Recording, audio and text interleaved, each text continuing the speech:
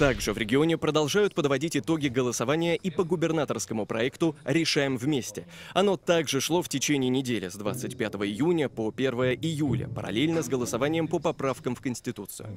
Так, в Тутаеве большинство жителей хотят изменить облик юбилейной площади. Теперь в списке благоустройства она идет под первым номером. Чуть меньше голосов у лестницы на левом берегу города и площади перед местным ЗАГСом. Жители Тутаевского района хотят реконструировать Дом культуры в деревне Емишево. На благоустройство администрация получит 21 миллион рублей.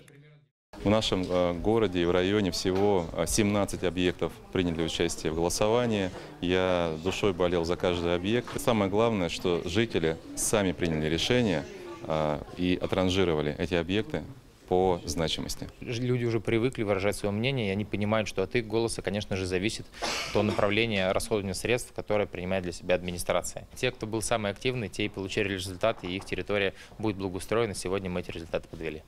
А в Ярославском районе большинство голосов получила зеленая зона в Красном Бару. Также в тройке лидеров набережная в поселке Михайловский и парк в Туношне. Всего в голосовании приняло участие 20 тысяч человек. Все объекты будут включены в программу благоустройства на 2021 год.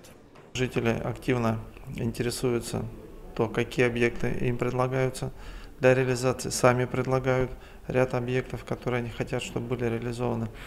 И э, вот эта активность, э, она приносит всегда результат.